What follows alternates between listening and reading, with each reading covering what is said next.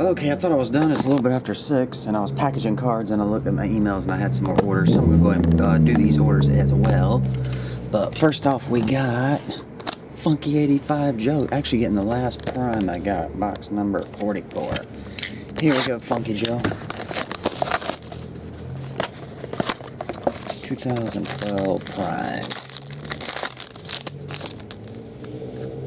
We have AJ Green 4.99, Peyton Manning 4.99, 25 Jermaine Gresham, and Rishard Matthews 12 of 49.